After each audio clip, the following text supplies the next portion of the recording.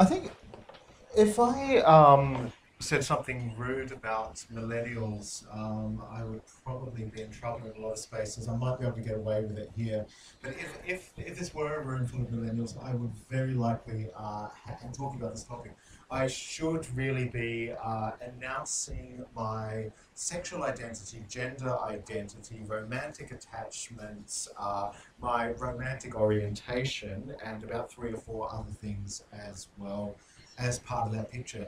And this is something that uh, seems to have changed drastically in the last uh, really five to seven years. Um, in the way in which people talk about sexuality and gender. And I'm really quite intrigued with it, um, with how this works and how we um, do it.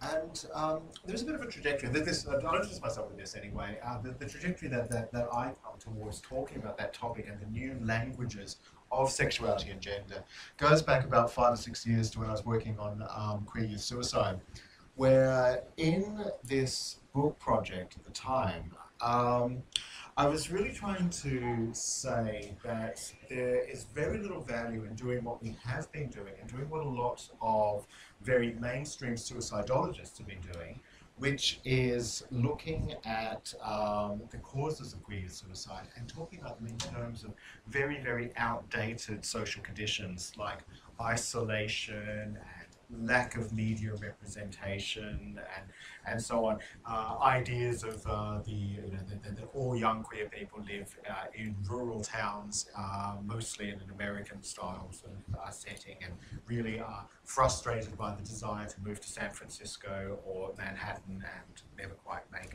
on. All of the, these, these ideas that, that don't really work for the, uh, the present generation. And what really the, the finding of this work was, was that, that there are particular gaps that are produced by the hetero-homo binary in particular, and that this is, uh, I don't want to say causal of youth suicide, but it is a factor in the everyday lives of young people who are struggling with the ideas around identity and and that those gaps are a uh, significant health and mental health problem that, that, one actually does need to pay attention to. And that sort of started that, that particular process for me. Uh, working uh, uh, sort of around the same time on um, uh, vulnerabilities and scandal. And I was actually talking about uh, footy players, Australian rules footy players, which is a bit of an easy target when you're uh, thinking about scandal and, uh, and scandal issues.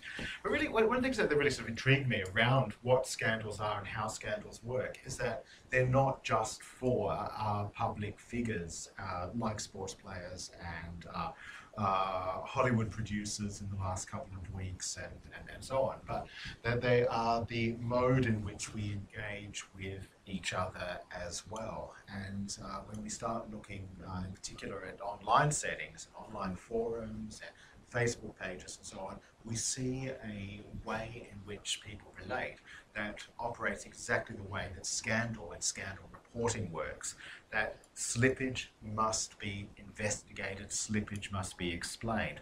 So this is about the, uh, the fact that an intelligible, recognizable, coherent self and identity, an identity that matches behaviors, uh, must be produced, and that any kind of uh, glitch in that must be explained by confession. And that's really part of that Oprahization, better word, the Oprahization of, of, of, the way in which we relate to each other, that one must confess and explain their anomalies and smooth these out. You know, I was always this, I was always that. And you know, so where we're, where, uh, I don't know, where I see it as, you know, as I suppose as a, a, a sometimes vegetarian at various stages, but you know, at the moment there's some kind of slippage in that, which you know occasionally happens, um, in, in, meal choice, it's like having to explain that. People sometimes being quite outraged at the idea that, you know, Rob's identity as a vegetarian is not quite coherent. So if we think about that, that's an application to me, but an application to a young person, and a young sort of 15, 16 year old, um, who is thinking about gender and sexuality and romantic attachments and so on, then, then we're seeing a much, much bigger field for that, that kind of play. And, and then the funny sort of the work I've been doing around digital identities and digital media is really, uh, I, I, mean, quite quite simple ultimately. Um, what, what I've been try, trying to do with this is, is to, to, point to the fact that we've got to get over the idea of living a real self in a digital self, a, um, a real kinds of uh, behavior and online behavior. This doesn't really work at all. And this isn't a new idea. I think, to any of us, but that the way in which we engage with each other uh, is intertwined between those two forms of communication, you know, the, the, real and the verbal and, and, the digital, and that those older ideas no longer really work. But, the, but they do have bearing, because they have bearing in, um, in a lot of um, uh, theories that I, I think that um, uh, apply. Um, now, this, this um, where, where I've gone with this, and uh, this, this is what I'm, I'm sort of doing a bit of work on at the moment, um, a book project around, uh, which is called Emergent Identities. And this is looking at these new labels uh, of gender and sexuality, labels such as non binary. And I'll, talk about some of those labels. Uh, but we, are talking about hundreds of labels. We had, uh, it was 15 earlier this year, I think, or you know, late last year, we were talking about 15 or 16 or 17. And these numbers keep expanding of, of identity categories and gender uh, categories and labels and so on. Uh, so I, I really want to unpack that and talk about and think about the relationship with digital media in particular. And in that particular project, I also want to talk about choice as well. I won't today, but um, the way in which young people are talking about choosing sexualities and choosing genders. And it's not as simple as saying, now it's not a choice, as opposed to uh, previously a, a, biology or genetic essentialism, but that there is a, a, combination of both of these ideas at play, and you know, people will talk in the same breath of an essence but at the same time of choosing an essence or choosing among several essences. And so there, there's a complexification of the field of gender and sexuality that is, for me, completely unexpected and something that uh, three or four years ago I probably have laughed at in, in, in hearing this. I think that's been one of those uh, responses, but it's not necessarily the, the best way in which to um, think about it. Uh, the other thing that's been um, going on here is um, uh, the uh, Queer Generations Project. And this is a project uh, with, with, with Peter Abson and, and Christine, Mary Lewis, of the ANU, and uh, Daniel Marshall, uh, and uh, Sujin, and others um, have been working on this. Um, we've been looking at the experiences and meaning of support and the support, belonging, identity interface across two generations, people born in the 70s and people born in the 90s uh, two deliberately chosen generational groups. Um, people born in the 70s, uh, people who, for want of a better phrase, I'm always a bit awkward about this phrase, but people who came of age, you know, or were, coming into uh, sexual behaviours and you know, a sense of identity or into workplace or into university study, but people who came of age in the 90s and then in the present decade as well, the 90s and the, and the 2010s. And some very pivotal things were really happening, of course, in the 1990s uh, around sexuality and gender. Uh, in the Australian context, of course, decriminalisation of homosexuality is pretty much being completed by, I think when Tasmania was, it's pretty late in the piece, but about 98, 99, 98. Um, the uh, the advent of queer theory, of course, in a, in a university and an academic setting, um, uh, the, uh, the, the profession, the, the, the, beginning of professionalizations of interventions in HIV and so on, and then we've got the, uh, the, the later group, those born in the 1990s who come of age in the 2010s, where we're seeing again a, a somewhat different uh, social setting. Now, part of that setting, then, I, I, I think, is uh, in terms of support, a, uh, a professionalisation of support, the, uh, the, removal of the figure of community from the way in which we do support and belonging, uh, the new ways of doing peer support that are governed by uh, policy frameworks that are uh, should we say more uh, more amenable to a setting like Headspace, uh, for example. Uh, so it's a very different environments, but, but, but both very, very pivotal um, periods. That's what we've been looking for. Now, what we did in doing this is we didn't anticipate when uh, we first proposed this um, that there would really be any other way of thinking about sexual and gender subjectivity except through LGBTQ terminology. And in doing this, we, we, we, I, th- I, think we felt there was quite stable as a way of analysing and understanding the interface between support and belonging. But the more work that we did on this, the more we found that this is not really being reflected, particularly among the younger generations of those uh, born in the 1990s, but also also those born in the 70s as well uh, that it was not really uh, a workable framework for analysing the kinds of online discussions that we were looking at. And um, uh, not necessarily a useful way then of analysing, for example, media text and older media text. That this new taxonomy, what I'm calling this new taxonomy of gender and sexuality, might actually um, uh, have new way uh, or open up new ways of thinking about such texts and so on. But certainly, that's not being reflected the, um, the people we talk to. And I'll, I'll, show a couple of examples of this. Now, forgive my uh, overpacked slides. This is for my benefit, not for yours. Um, because I will forget everything that I wanted to say. Um, this is a bit of background, and this is not really, really very uh, important uh, today, but thinking about the uh, what, what's actually at stake as gender and sexuality, sexual uh, terminology shifts, what's at stake is the hetero-homo binary and the masculine-feminine binary. And these, of course, we know are the, uh, the, the most significant nodal points that hold together the truth of gender and sexuality and have done for a very long time.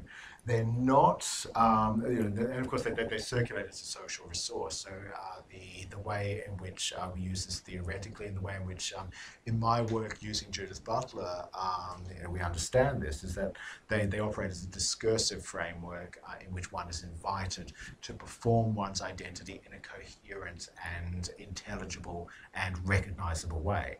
And then, of course, that doesn't uh, cover everybody, but what uh, occurs then is that one must be answerable in terms of those binaries. So if one's sexuality is something somewhat different, uh, it is the, the, the, call to confess that difference and make clear how that difference will work without undoing that particular binary.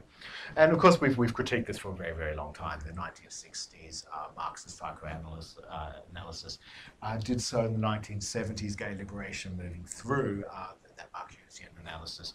Um, and, and, particularly Dennis Altman's work did precisely that with the idea of the end of the binary and, and, and, and in, in Dennis's phrase, the end of the homosexual.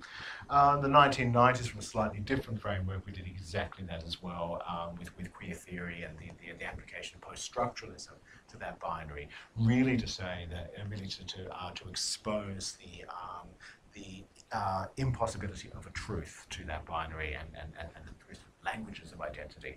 But they did remain dominant and public and political. And this is one of the things that's, uh, that's quite often interested me about uh, 1990s queer theory, that it didn't actually do more, that there were certain ways in which uh, it's operated in public work and in, um, in uh, community activism, uh, particularly around theatrics that did some of this questioning, but it didn't do more to unpack those binaries or to unpack an, essentialist identity.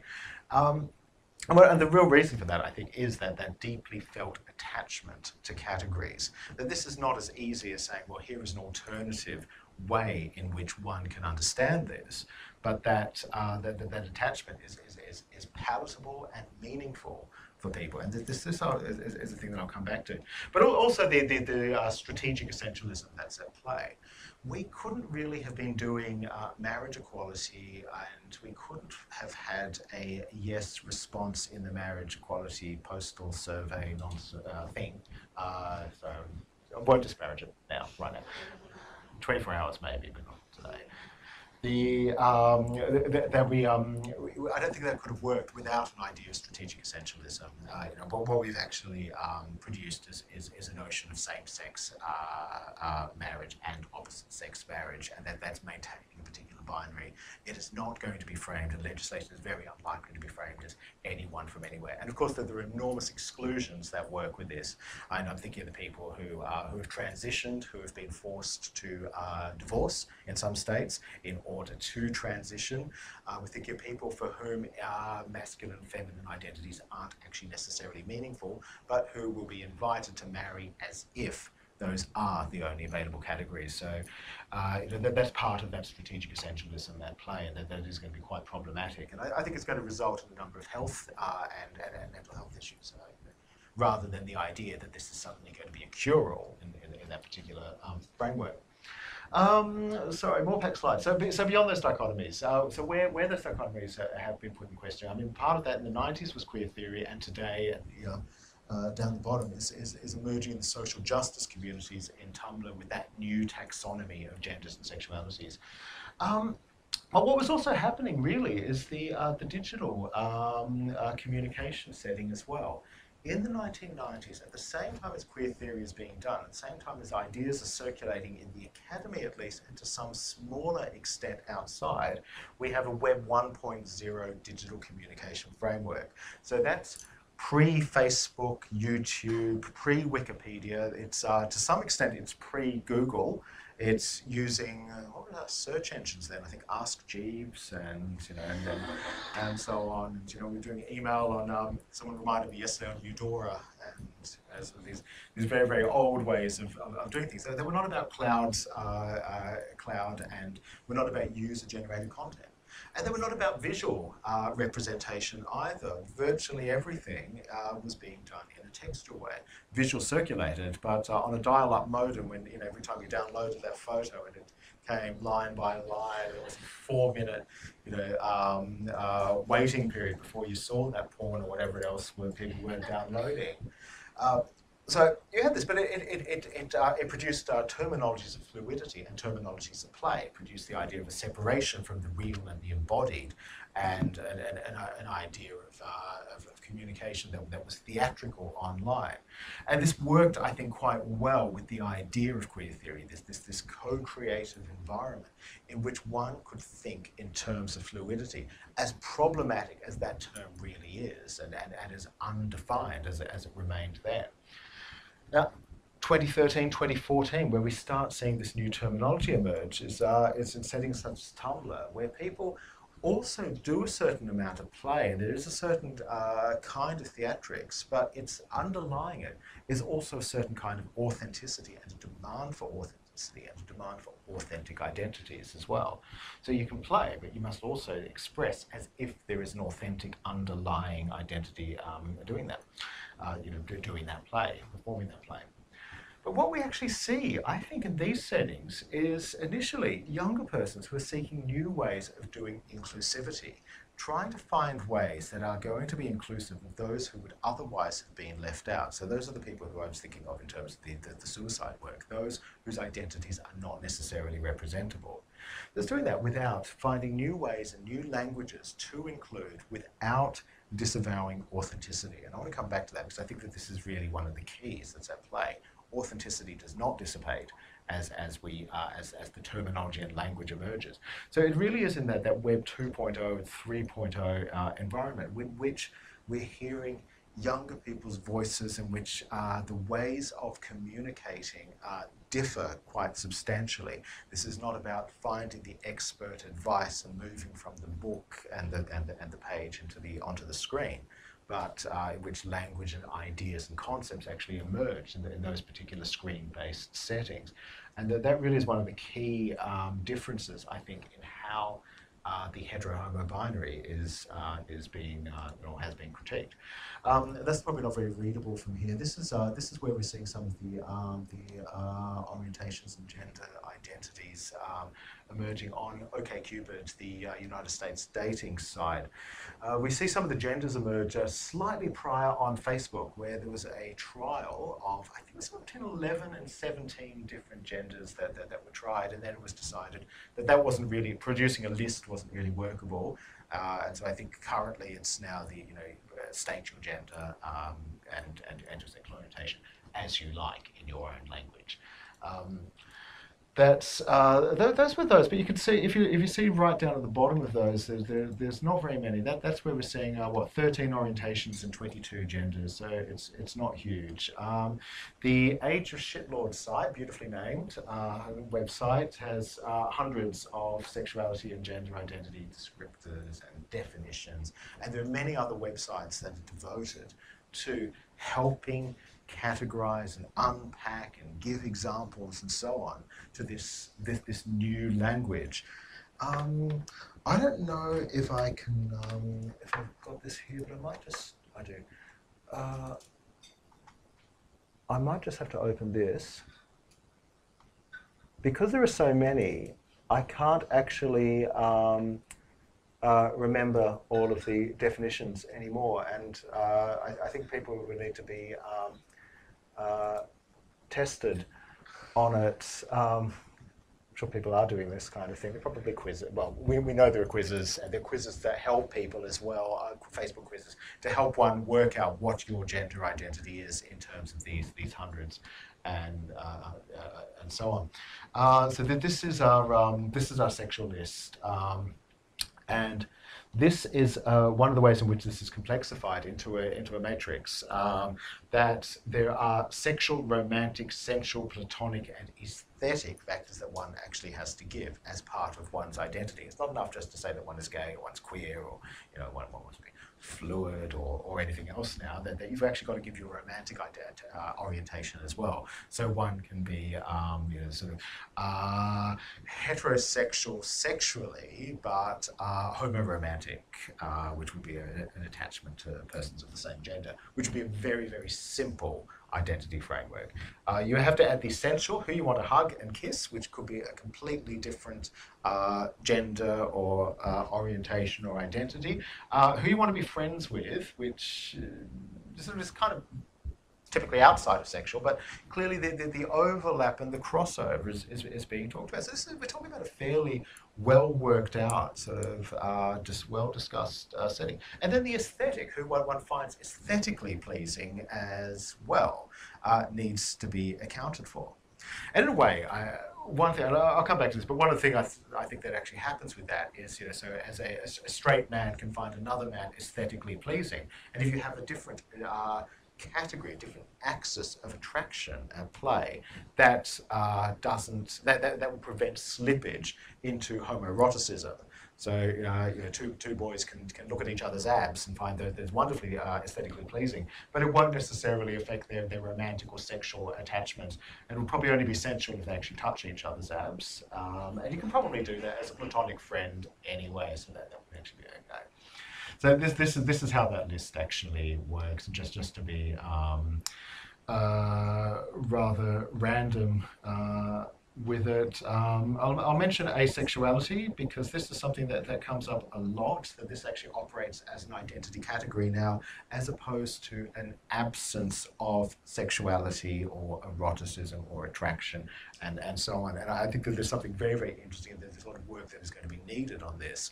Uh, certainly in uh, the Queer Generations Project, in um, among our participants in Western Australia, um, in one focus group of about, oh, probably about nine or ten people, I think we had at least two people who identified as asexual um, in the 1990s generation, three or four overall. Um, was a, was a fairly high percentage when we're talking about 20, 25 people. Uh, so it's, so the, as a, as a, uh, a, sexual identity, it's, it's, it's coming to its own now rather than being seen as, as a, a health problem or a mental health problem or as a, as a, a being outside and, and so on. Um, some of the, the obvious ones are here bisexual. Uh, uh, Borea is a, is a sexual identity which is having an exception to your usual orientation. Um, burst, I am burst, maybe. Well, I'm, I'm not, but a person might say that they are burst, uh, which means that, that, one sexual identity is having spikes in attraction that fade away after a while. So this is a, as a pattern actually comes to take on an identity category of its own. Um, cease is usually being um, alloerotic, yet occasionally feeling a sudden loss of attraction and then returning to normal. So we were talking very, very nuanced, you know, down down to the, the, the microscopic level of, um, of identity. Um, Fray, I think I like Fray. Fray, only experiencing attraction towards those you are less familiar with. The feeling is lost when they become closer or more familiar, so it's the opposite of demisexual, in which, which you are only attracted to people that you're actually close to or familiar with or have known for some time. Uh, so again, you know, so something's again more more obvious. Uh, grey A do not normally experience sexual attraction, but can sometimes. Um, and there are alternate definitions of this, so they're, they're not very, very complete. Um, that seems a bit old fashioned, heterosexual, homosexual. Uh, The, the, one of the ones I like most, I think, is uh, sapiosexual, which is uh, attraction to people uh, of the uh, who, who, are intelligent, sapiosexual, and uh, which, which I would have thought applied to most, but maybe not, not necessarily.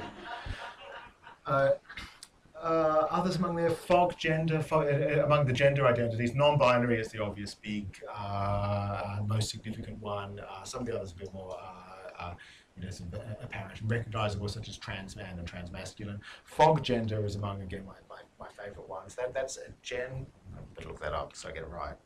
The gender list.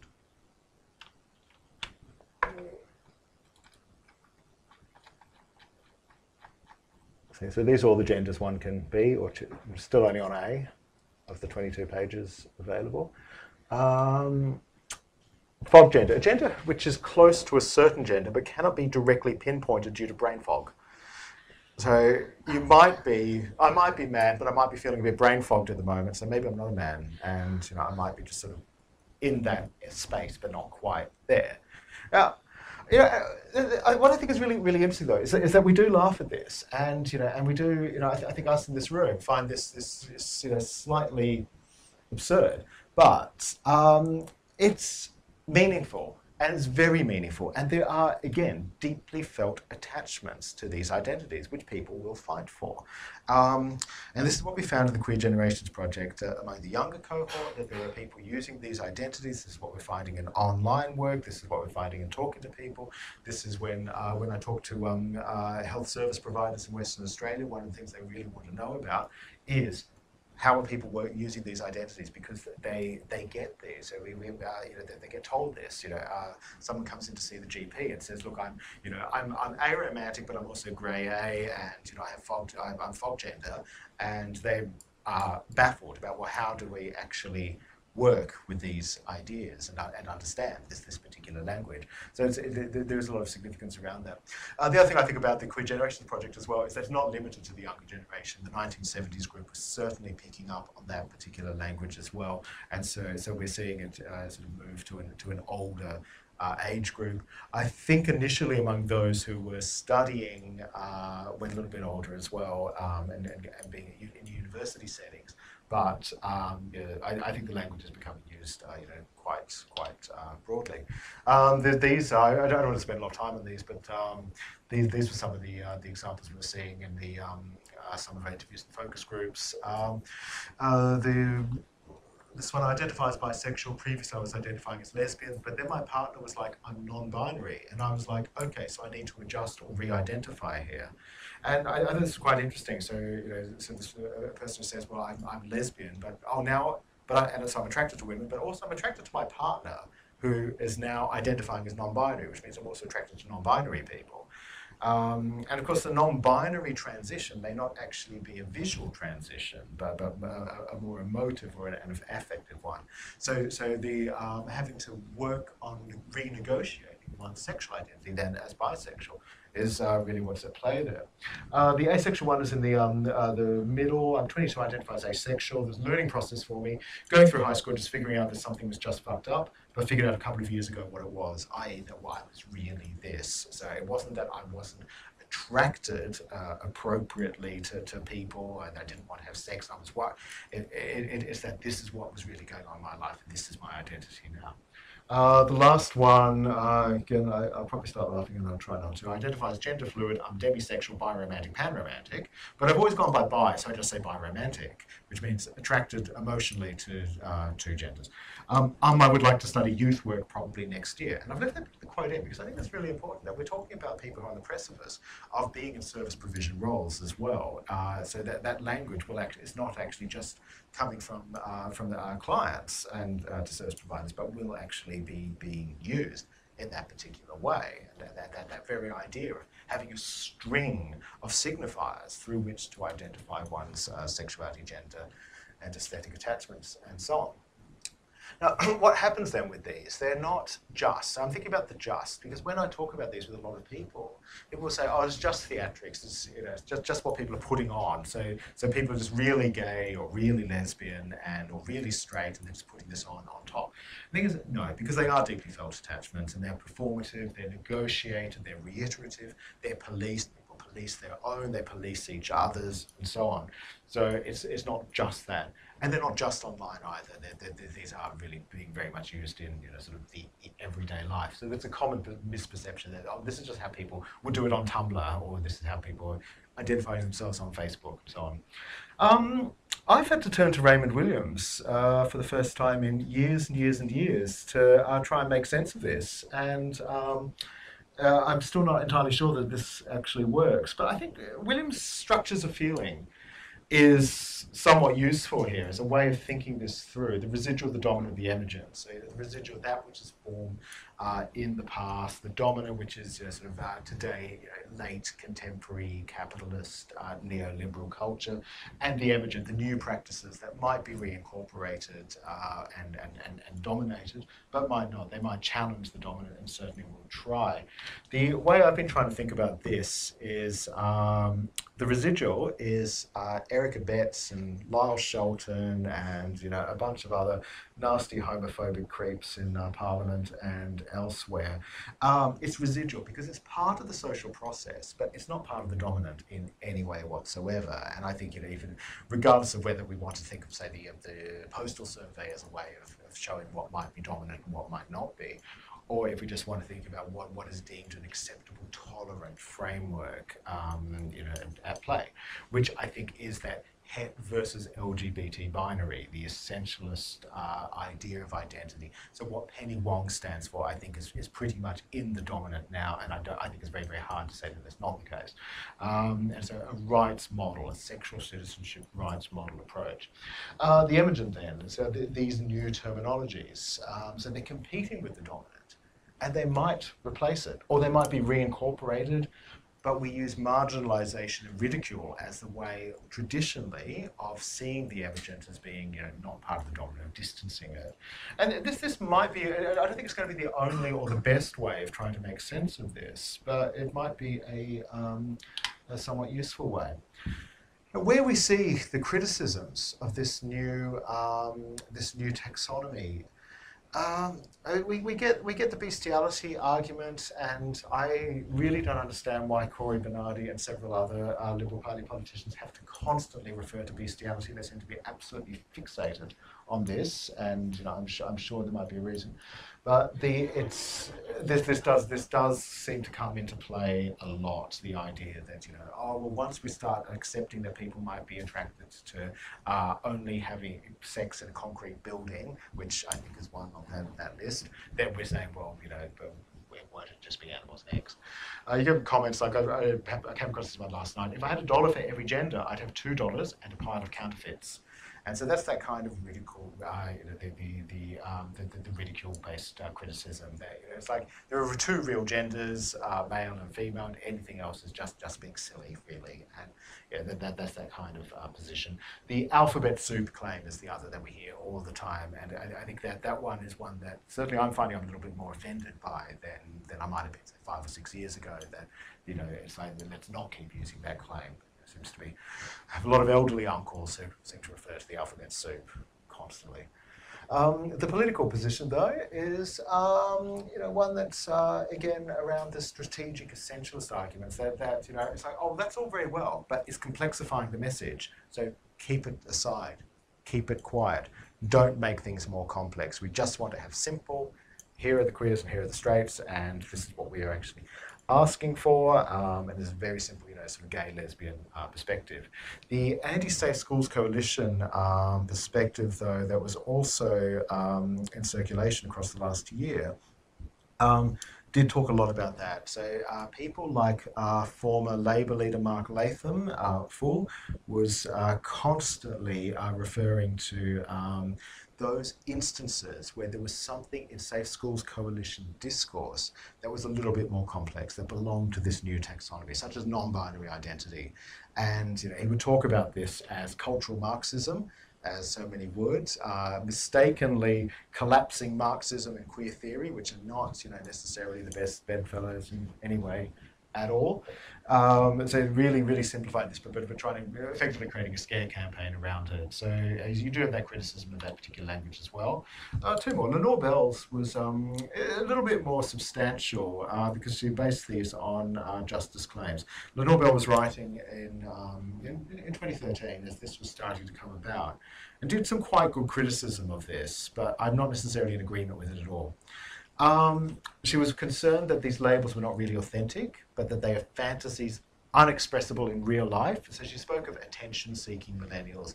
That this is about you know straight boys who are trying to be something other than a straight boy and you know pretending. Uh, so in the nineties, you know, I paint my nails black to upset mother, and this would be the new way of upsetting mother, really. Um, she was concerned, though, this, this I think is a bit more legitimate, that these are labels that are primarily expressed by comfortable middle-class white Western people uh, with freedom to experiment beyond the very, very tight political coalitions that are sometimes needed in, in other settings. And uh, obviously there are, there, there are contents, uh, continents other than, than Australia that, um, you know, where, where these uh, where older models are absolutely vital because they're the only way to fight and the only way to engage in a, um, in a struggle. The, um, the non-binary toilet example I think is a significant one here. Um, the, I don't want to labour this one, but um, uh, the questions around um, non-gendered toilets are very legitimate. The, um, I was at a conference in Adelaide uh, last week, and there was a call for uh, not just uh, non-gender toilets, but for a non-binary toilet only, and um, that this is, you know, so this would be only for non-binary people uh, altogether. I thought, well, this is very, very interesting, but um, the, the, the, uh, the, that kind of demand uh, does assume resources, it does become very much a first world problem uh, in a world where the majority of people still don't have any kind of water to flush away their effluent at all. So the demand for more toilets as opposed to as opposed to goods is, is, is problematic. But uh, I realise that, that the, the it's, it's going to be that one's going to be a very very heated political issue. Um, the, the last one for me though, in terms of the criticisms, is, is, is one that I've been thinking a lot about though, which is the the surveillance and border policing that I'm seeing a lot on uh, pages like Facebook, where people will go through each other's Facebook pages um, to criticize or to police or to surveil and check is a person actually the uh, identity label that they are talking about? And so there are some quite uh, hurtful things uh, being said and quite uh, things that, that, that, are vulnerabilizing people and, and, and excluding and marginalizing in, ways I think are somewhat terrifying. Going through, is like, you know, uh, I've gone through your Facebook page and, you know, you might say that you are asexual and, uh, but, and biromantic, but, and sapiosexual and this aesthetic, but I don't see that. And when I look at your photos from, you know, 2013 here, you are clearly not that. And so this, this um, the ways in which we've made available the, the opportunity to police these pasts, I think is, is, is um, uh, going to be problematic with how this actually works. Mm -hmm. There's a, this essentialist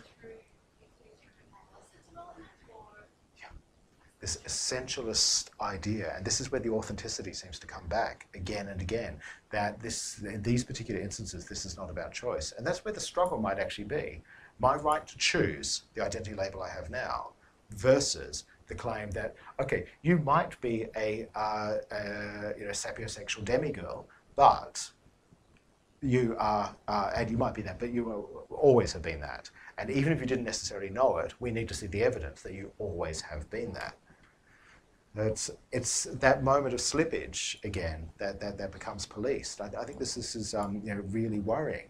Again, for me, from a health perspective, because what does this actually do when one has to uh, undertake this intensive labour to main, not just to maintain, but to prove across the past?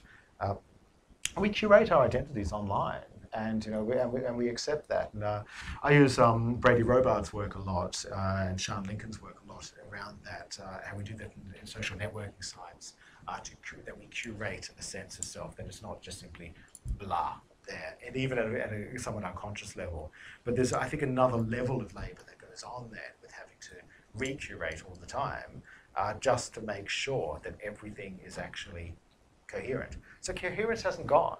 And this for me is the key, that these are not as radical and interesting and engaging as perhaps some of the 1990s work that we actually did around theatre and performativity and, uh, and uh, other ways in which we uh, do diversity. Um, how much time do I have? Five minutes?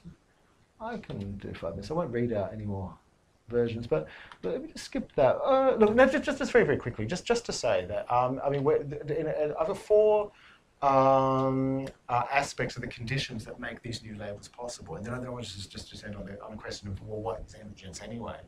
But, uh, I mean, the first of these is sexual citizenship. And what uh, you know, we really my my take on this is that the condition, the, the line down the bottom, the conditions for making a sexual gender identity utterable within regimes of sexual citizenship are historical and change over time. The sexual citizenship worked very very well for an idea of gay, lesbian, LGBTI um, for some years. But really, what we're actually seeing now is the way in which this becomes the, um, the output, the outcome of sexual citizenship. So it's uh, where actors are, defi- uh, are encouraged to define themselves, as uh, Jeffrey Weeks had it, in personal collective, in terms of personal collective identities, by sexual attributes, to claim recognition and to claim rights. Um, and that really what happens then with this as a framework is that in a digital networking setting, um, people are encouraged to find ways to deal with the marginal within the marginal and to do that by producing these new labels as a way of saying, well, this is how one can fit, one can claim rights and recognition, not by saying in a, in a uh, more long-winded way, oh, I'm gay, but you know, my taste of this and this is my experience and this is my history, but to boil it down to a simple signifier that can work in order to be recognized and in order to claim those kinds of rights. And then, of course, you've got a kind of a market economization of this because these labels are, not just, just articulated, but they're consumed. So they become this, this productive form for articulating, uh, uh, articulating subjectivity, that, that one does this in terms of making choices that are not necessarily choices, authenticity and choice together. Uh, second, really quickly, cults, those cults of authenticity, that demand for intelligible identity that that surveillance produces is really at stake and, and it is key.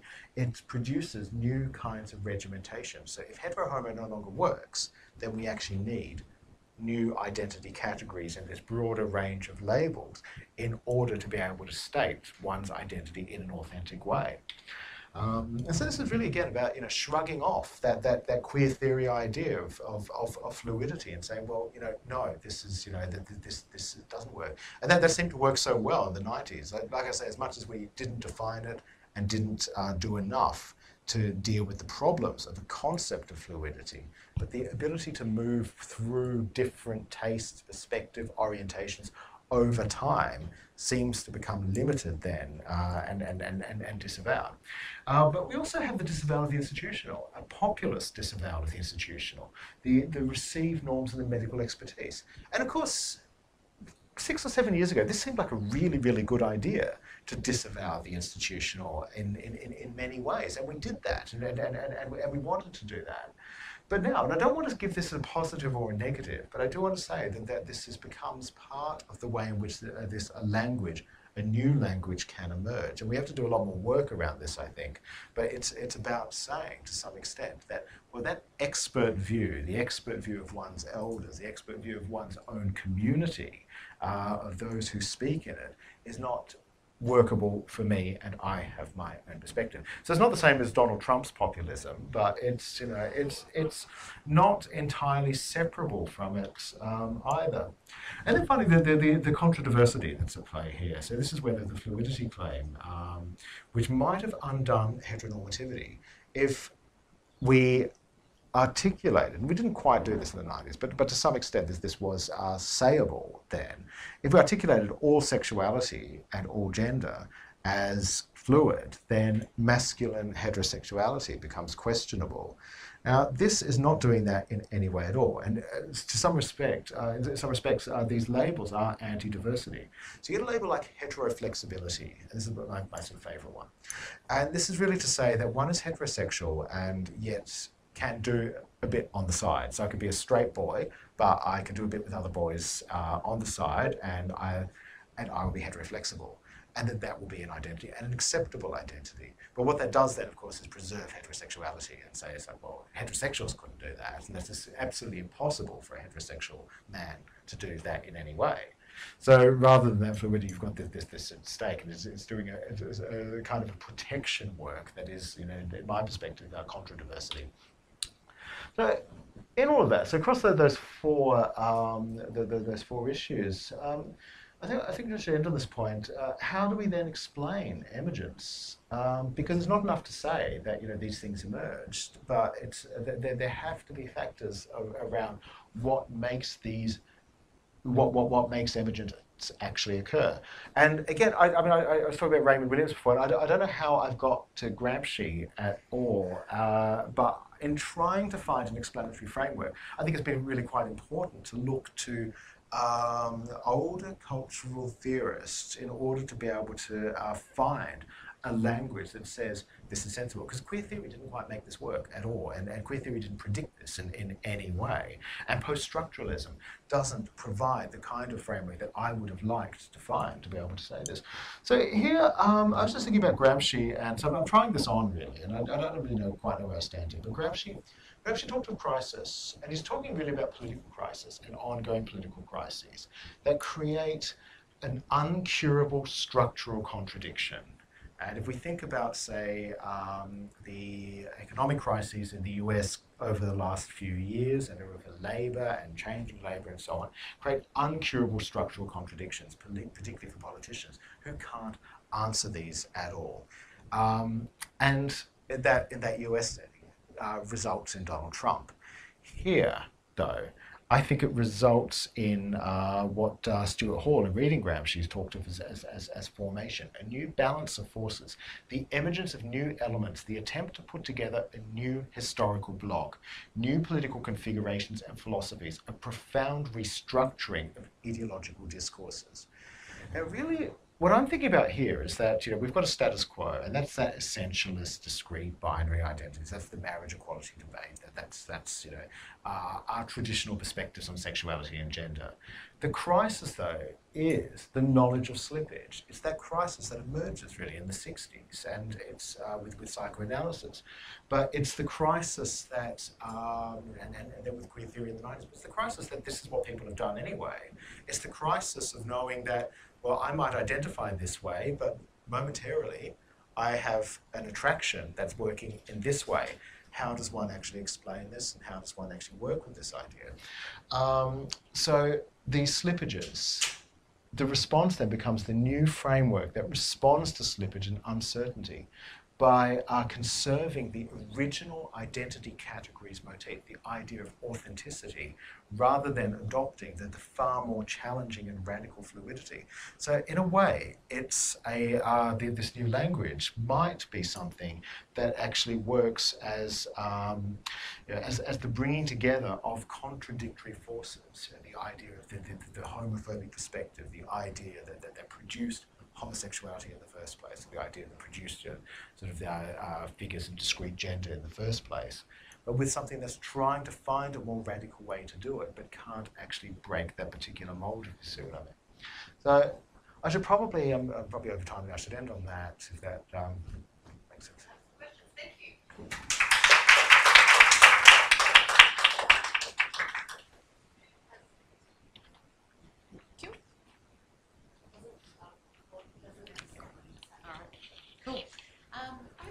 Wondering in if you could give any kind of indication amongst millennials how common these kinds of identities are. I mean, I know that might be a little difficult. I'm just trying to understand how much of a movement this is for a generation I don't belong to. I am.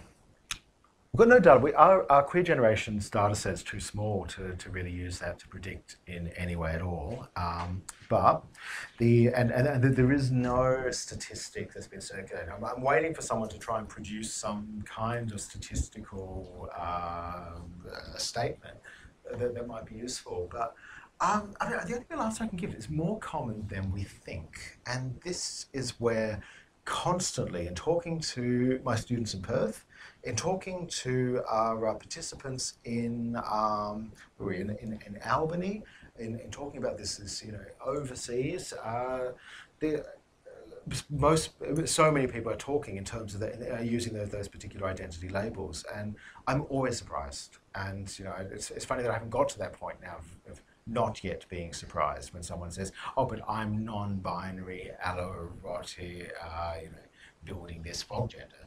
And you know it's like you're putting on that that straight there's like well, fascinating the uh, face that, that one has to do uh, you know, which is giving a, a generational gap for me. It's, it's, how it feels.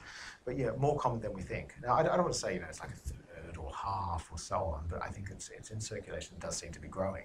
So as that list grows, we're not talking about a niche set of people. Now, what we don't know though is is this always going to apply? Or you know, is someone who's 19 doing this now are going to be doing something different uh, when they're 27.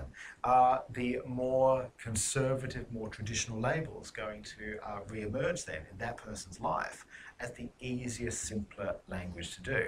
Is there an economy of time that's actually at play in this that says one's got the time at that particular age to develop language and play with language and so on, but you know, at the um, the marriage registry office in uh, 2019, it's going to be a completely different thing altogether explaining to Auntie Phyllis or so on. It, it, it, different languages might actually play. So we, have got a lot of work to do. Hello, um, I'm realizing I might be the token millennial in the room, although only just. Um, okay. And as someone, I've kind of participated in some of these spaces before, and what I always found was that um, there was a sense of play in a lot of these, especially more expansive gender categories, such as fog gender or things like that, that maybe like I know there are people who do deeply hold those as their own personal genders, but then there's also a whole there, it's almost like a yeah we're, we're kind of making fun of gender at the same time as performing it. Have you found any sense of that in your research? Initially initially that's what i believed i was reading. Mm. and uh, in talking then more and more to people. It's like I'm finding that no, this is this is treated with a, a, level of seriousness that lacks that 1990s queer play. So, you know, if, if this were not, I mean, I, am I'm, I'm giving, I'm starting to sound like I'm really nostalgic for the 90s, which I'm, I'm not really. But when, when, when we think of sort of the, the, the way in which we would talk of, of you know fluidity and play that experiment and, and so on, uh, we may not use the word experiment uh, in that, that context, but there, there was always something ironic. And I think, and again, I don't want to say that millennials, apologies, lack irony because that is something that is said. And I don't think that's necessarily true at all. But I do think that there is a different way of doing play here, at all, and that, that is serious. And uh, one of the concerns I think that happens is that it becomes quite easy to offend then in getting that wrong or in making a mistake. And you know, certainly I've had students be, be horrifically offended with, with, with, with me by assuming something about their, their sexuality because I didn't know that one of those hundreds of words, which is going to be a lot of work then for us. Rob, that was really that was fascinating and great overview. And I feel like like a, dyna- a '90s dinosaur, like dealing with some of this stuff and trying to be more inclusive in doing survey research, which, as you can imagine, this as a backdrop is a nightmare. and that's an ongoing project. But I was really struck, and I'm picking up on Christie's comment in there about, and you were talking about policing of people, uh, policing consistency in one's pre- current presentation.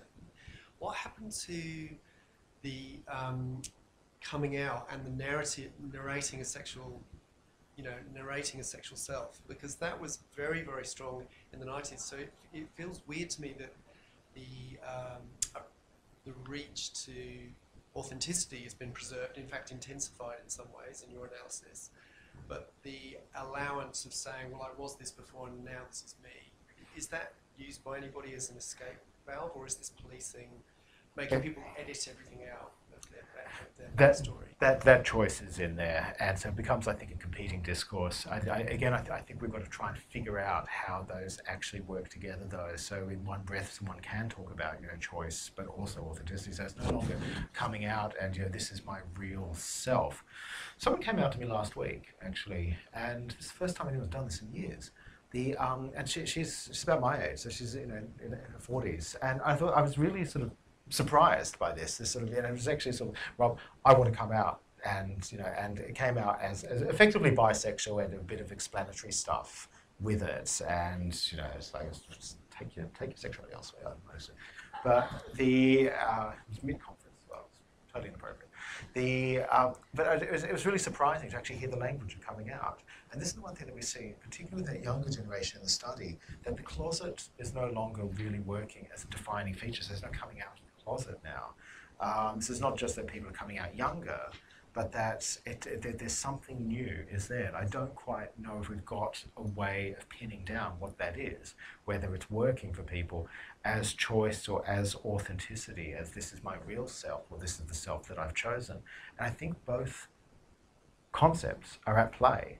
And I think that this might be one of the causes there that we see around anxiety in terms of sexuality today as well, that there, is a, an underlying anxiety. And I, I, think this, you know, again becomes a, you know, a serious health problem around how are people actually articulating this? Because it's not necessarily entirely with pride and, you know, this, this is my real self. It's, that, but also I chose, is it the right choice? Okay. Oh, I don't think I'm next. Oh, I didn't see it had any, was there, oh, there was definitely one at the back. Well, um, mine was kind of a, a, bit confused as well because I'm kind of one of the 90s. Um, but is is this something that's emerging for for like across the board for people, or just for people that have kind of identified as not straight? It is that that was my initial sense. And looking at, I've been doing some work on um, uh, sexual webcamming and there are sites, uh, what is it called, uh, uh, chatterbases. People people pay uh, tokens like tips for a stripper, really, for people who are performing on a webcam. And people earn, you know, a, a moderately acceptable living out of doing this. But one of the things that's really interesting in that that setting are the number of people who, when you actually ask, uh, will say that their entire sexual experience has been uh, opposite gender but they will also be open to doing all sorts of really interesting things. So these are these, young, very tough, masculine looking straight men. But what they actually do, the kinds of play they have there, and it's not just for money though, because this is also about pleasure um, the, the, the, kinds of play. So, so, so what they, it might be sort of, you know, anal play, or it might be the fact that they're performing for other men and enjoying that particular practice. Is something's happening around the edges then of identity that's there. Um, where we see this among people, uh, I mean, outside of a, uh, that kind of sexual setting, um, we, we don't have emos anymore like we had uh, only, what, five or six years ago. They, they've all gone I don't know where they, they just left. But emo in, within emo culture, there, there was a lot more of, of, of, that as well, of looking for other ways to do straightness. And you know, these were not, you know, queer men and women, boys and girls. This was, you know, uh, looking looking for something else that was around those edges. And so I think yeah, it's, it's more widespread. And of course, then if we, have, we have a language of tolerance and a language of acceptance, you know, particularly among uh, those who are school age, you know, we're, we're seeing straight people find, well, it's like, well, you know, yeah, I'm, I am this and I am that because I'm okay with the fact that I've got friends who are queer and friends who are heteroflexible and friends who are, and, and, and, and so on. So,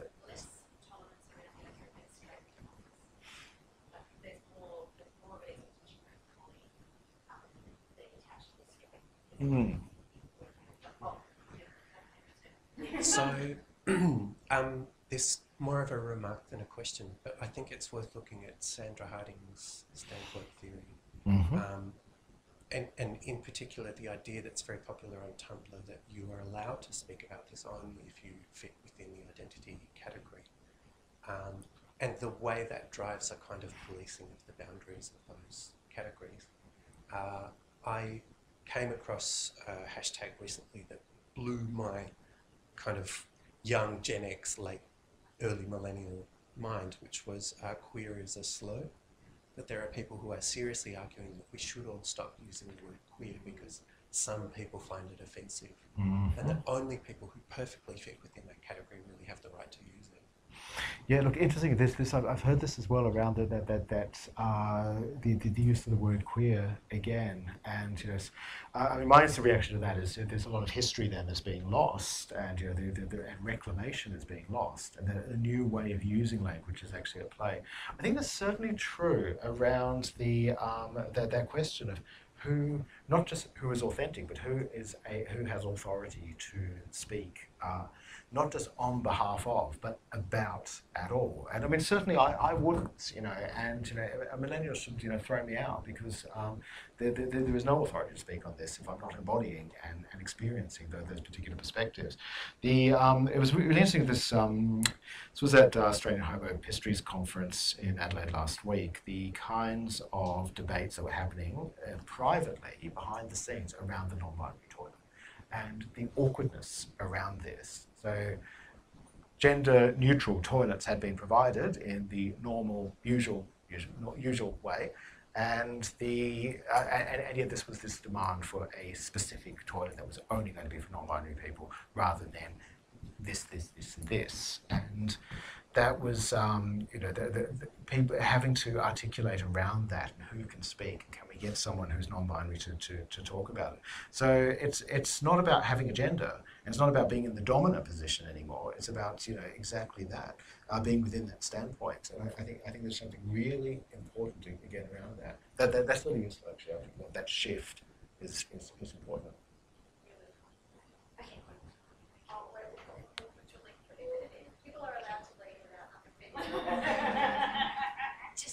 Only if you belong to a particular identity category, uh, otherwise, otherwise you can't. I just wondered, seeing the fragmentation of gender and sexuality identities, um, whether you're noticing any um, opportunities for like mobilization and community, um, or whether, I mean, given that um, based on dominant Mm. sexual and gender identity positions, that was really mobilized. So what's happening now? Look, I think that this is um, this is where I think I think something quite fascinating is happening. That there, there isn't a uh, coming together. That there isn't a coalitional politics around this. At least not as much as we would have expected, and not in the way that again that we might have done in the past. And all of the debates and arguments and, and structuration that we had to do, per se, particularly around uh, lesbian and gay and, and, and incorporation of bi and, and, and, so on.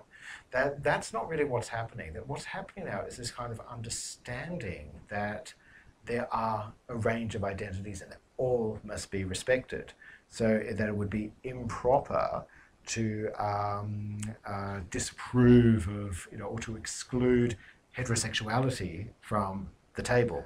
So if we were going to have a safe space now, and I think this is where, where we might talk in terms of um, you know this is what happens then to spaces, that not just that one needs to have a space for heterosexuals, but that heterosexuals should be welcome in this space because no matter what they are or how they, express that, because it's a space for sexualities, and that's because it is just as important and legitimate an identity as others. So what seems to be lost then is that, that question of you know who is oppressed and who's not. The other thing we see with this is a categorization of oppression, a hierarchy of oppression. My identity is far more oppressed than yours, and you know how dare you speak on behalf? And I'm not talking about straights and queers now. I'm talking about you know one on that list as opposed to another. And so a lot of the language that occurs then in Tumblr and Facebook and, and other sites and forums is around this identity is more oppressed than this, and it's a really interesting kind of language. Um, and it does open up then the possibility for the um, for the, the, the, the straight man to say, I'm more oppressed because I'm excluded in this particular space. So there, there's nuance and there's articulation, and it's out of time, it's out of history, and uh, I've got no way, way of really knowing how, where that's going to go. I think I think we let's wait and see, but it's a bit frightening ultimately. Um, straight straight men have been saying that for a long time as someone who's who's worked a lot in feminist and trying to get women's spaces up. So that's not new. Um, I guess one of the things I was really struck by was the idea that um, all of those very very precise categories kind of made me think about about a kind of a need to be really precise, really precise about your truth.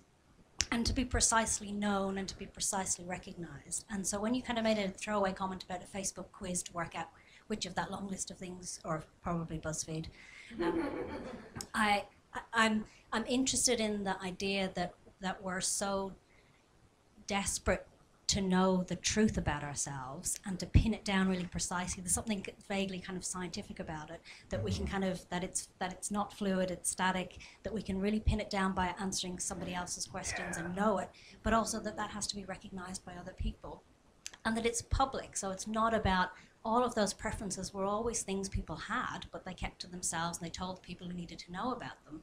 But now a complete stranger needs to recognize those things about me, and I'm I'm curious about what's what what that is, what that that need to have that kind of stuff recognized. Again, I think you know a lot of this this is that that Oprahization. You know, so I mean, I know that's a generation ago, but that this is where this has actually gone. This is the the, the, the final output of Oprah's career. That, that what what what what what, what that, that that kind of uh, uh, self focus has actually produced. Thinking about is, you know. Uh, I mean, I don't know about others. I remember being 15, and I remember those those kinds of anxieties that one had. They weren't really anxieties, though, but you know, it's like, you know, this like that. How am I going to express it? What's what? What are the appropriate ways? I said that. I'm this to that person, and that person. I'm sort of indicated this. Now they're talking to each other, and and, and, and those were quite serious issues. But I, I wonder now, when you've got such an array, what does this do for a young person who's 14 or 15 or 13 or maybe or any, anyone really? um, you know, what kinds of pressures are really at play then uh, in this? So it's sort of like, I, where, where it's become that, that level of precision, but how are you going to articulate it? And, you know, and not just that, but how are we going to articulate difference? So I want to be um, one of those, I, I want to be, you know, a romantic sapiosexual as well, like my friend, but, you know, but we're, we're, we're different. And, you know, like, and, and now people are going to look at that difference and then people are going to be pointing that out. So, so how, how, how, to, how to make that difference uh, understandable as well? Can we both be sapiosexual? Or, you know, because maybe we can't be. So we might have to find a new word. Maybe I'm demi-sapiosexual, and because I'm only halfway there. Uh, and bring the history in and bring one's own, you know, expectations, one's future desires, you know, what, what magazine one looked at, and how one might have looked at a picture of someone and, you know, and, and, and expressed their, their attraction and, and so on. So it's, it's, it, it, it's, it's work, I think. It's pinpoint. But also the reality of statistics, as someone who is a qualitative researcher who does quite a lot of stat stuff, is that we will obliterate all of those nuances because stats doesn't cope with those kinds of things. And I mean, uh, you know, that's something I'm coming under a lot of pressure from from people who are increasingly wanting their all of those various different ways of being and identifying recognized in the questions that we ask in surveys. And we can't put all of those things in surveys. And so, what we do when people do insist on changing them is we obliterate them all and we say, oh, you mean you're bisexual? Mhm. And I think there's a real problem for, for research to kind of think about what we're going to do with this as a problem, as a research problem. And, and it, is it enough just to hope it goes away? Mm. And Kath, Kath, Kath Albury, of course, did, did, did Buy Plus as a way of trying to, to, to manage that, which I think we've gone beyond now with, with this as well, that, uh, that, that that is not acceptable to people. I had a PhD student early this year who was uh, going through her enrollment and wanted a non-binary uh, status on this, and the other status did not work on her enrollment form, and so she wasn't going to, um, to enroll.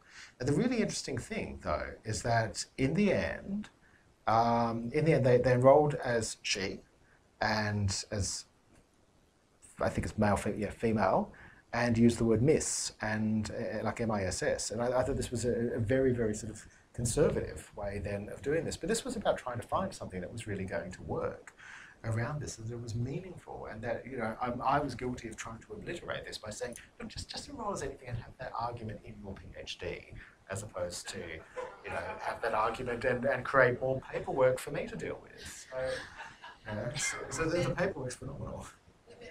but but please join me